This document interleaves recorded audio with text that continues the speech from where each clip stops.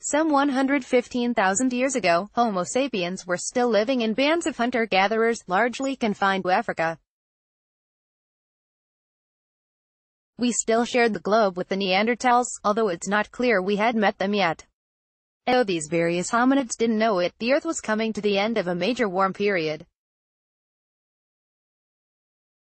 It was one that's quite close to our current climate, but with one major discrepancy, seas at the time were 20 to 30 feet 6 to 9 meters higher. During this ancient period, sometimes called the Eemian, the oceans were about as warm as they are today.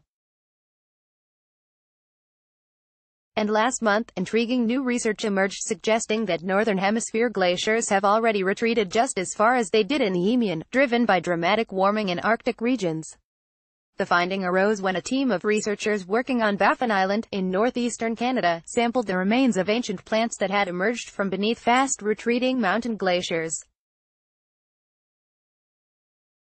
And they found that the plants were very old indeed, and had probably last grown in these spots some 115,000 years ago. That's the last time the areas were actually not covered by ice. The scientists believe it's very hard to come up with any other explanation, except that at least in that one area where we're working. The last century is as warm as any century in the last 115,000 years, said Gifford Miller, a geologist at the University of Colorado in Boulder who led the research on Baffin Island. But if Miller is right, there's a big problem. We have geological records of sea levels from the Eemian.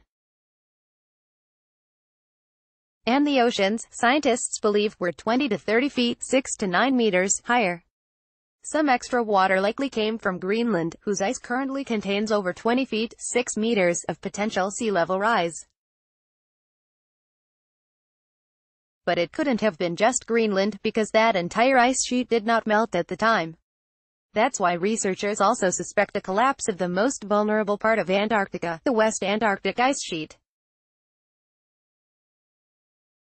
This region could easily supply another 10 feet 3 meters of sea level rise, or more. There is no way to get tens of meters of sea level rise without getting tens of meters of sea level rise from Antarctica, said Rob DeConto, an Antarctic expert at the University of Massachusetts. Trying to understand how Antarctica will fall scientists are now intensely debating precisely which processes could have played out then, and how soon they'll play out again. After all, West Antarctica has already been shown, once again, to be beginning a retreat. Some researchers, including DeConto, think they have found a key process, called marine ice cliff collapse, that can release a lot of sea level rise from West Antarctica in a hurry. But they're being challenged by another group, whose members suspect the changes in the past were slow, and will be again. To understand the dispute, consider the vulnerable setting of West Antarctica itself. Essentially, it's an enormous block of ice mostly submerged in very cold water.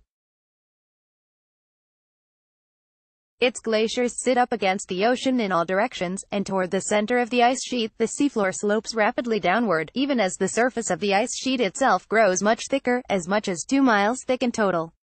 As much as a mile and a half of that ice rests below the sea level, but there is still plenty of ice above it, too.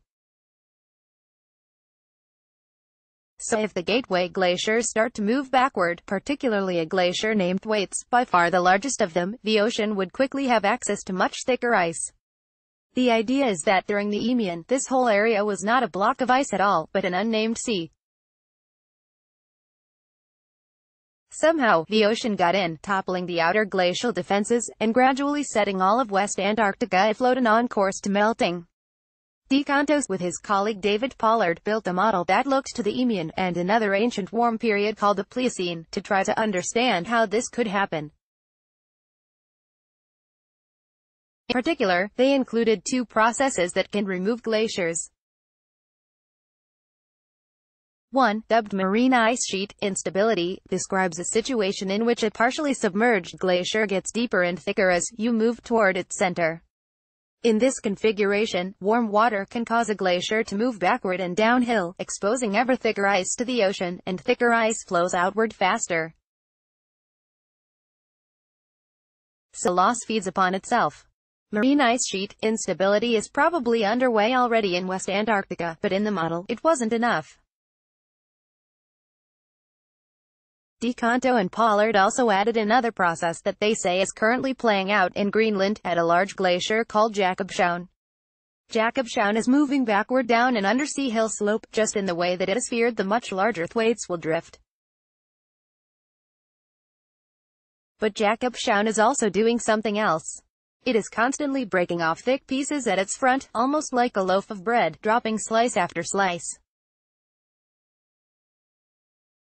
That's because Jakobshavn no longer has an ice shelf, a floating extension that used to grow out over the ocean at the front of the glacier and stabilize it. The shelf collapsed as Greenland warmed in the past two decades. As a result, Jakobshavn now presents a steep vertical front to the sea, Most of the glacier's ice is under the water, but more than 100 meters 330 feet extend above it, and for DeConto and Pollard, that's the problem. That's too much to be sustained. Ice is not steel. It breaks, and breaks, and breaks. This additional process, called marine ice cliff collapse, causes an utter disaster if you apply it to Thwaites. If Thwaites someday loses its own ice shelf and exposes a vertical front to the ocean, you would have ice cliffs hundreds of meters above the surface of the water. DeConto and Pollard say that such cliffs would continually fall into the sea. And when they added this computation, it not only recreated Eemian sea level rise, it greatly increased their projection of how much ice Antarctica could yield in this century, more than 3 feet. Since there are other drivers of sea level rise, like Greenland, this meant that we could see as much as 6 feet in total in this century, roughly double prior projections. And in the next century, the ice loss would get even worse. What we pointed out was, if the kind of calving that we see in Greenland today were to start turning on, in analogous settings in Antarctica, then Antarctica has way thicker ice, it's a way bigger ice sheet, the consequences would be potentially really monumental for sea level rise, DeConto said. Moreover, the process, he argues, is essential to understanding the past, and thus how we could replicate it. We cannot recreate 6 meters of sea level rise early in the Eemian without accounting for some brittle fracture in the ice sheet model, said DeConto. A massive debate over marine ice cliffs Tamsin Edwards is not convinced. A glaciologist at King's College London, she is lead author, with a number of other Antarctic experts, of a study published Wednesday in Nature, the same journal that published DeConto and Pollard in 2016, that disputes their model, in great detail. Using a statistical technique to examine the results, Edwards and her collaborators find that the toppling of ice cliffs is not necessary to reproduce past warm periods after all. They also present lower sea level rise possibilities from Antarctica in this century. If they're right, the worst case is back down to about 40 centimeters, or a little over a foot, rather than 3 to 4 feet. Things may not be as absolutely terrible as that last study predicted, Edwards said. But they're still bad. It is a new science, she said, and without more modeling it's unclear how ice cliffs will ultimately affect sea level rise. But then what happened in the Eemian? Edwards thinks it just took a long time to lose West Antarctica. That it wasn't fast.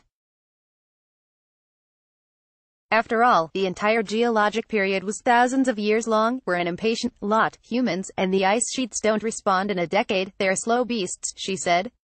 DeConto says he's learned something from the critique. The Edwards study does illustrate the need for more in-depth statistics than we originally applied to our 2016 model output, but the models are evolving rapidly and they have already changed considerably since 2016, he said in a written statement. But he's not backing down on marine ice cliffs. The new critique, DeConto said, implies that these processes aren't important for future sea level rise. And I think to me, that's kind of a dangerous message. He certainly has his allies. Richard Alley, a well-known glaciologist at Penn State University who has published with DeConto and Pollard, wrote in an email that cliff retreat is not some strange and unexpected physical process, it is happening now in some places, has happened in the past, and is expected wherever sufficiently high temperatures occur in ocean or air around ice flowing into the ocean, the Eemian, but worse.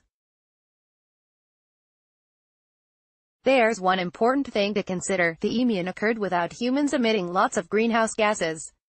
Atmospheric carbon dioxide was far lower than it is today. The event was instead driven by changes in the Earth's orbit around the Sun, leading to more sunlight falling on the northern hemisphere.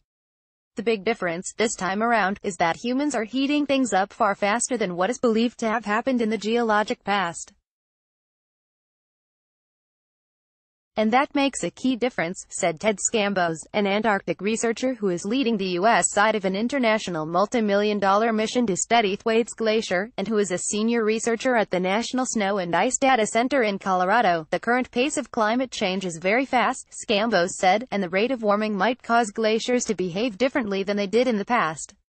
Accordingly, Scambos says he sees the current debate as fruitful, it's the discussion that needs to happen, but that it doesn't lessen his worry about the fate of Thwaites Glacier if it retreats far enough. There's no model that says the glacier won't accelerate if it gets into those conditions, said Scambos.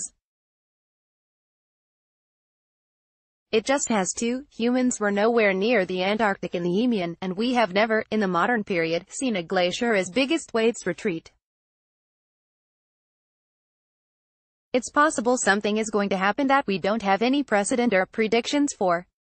Just last week, for instance, scientists reported a large cavity opening beneath one part of the glacier, something they said models could not have predicted.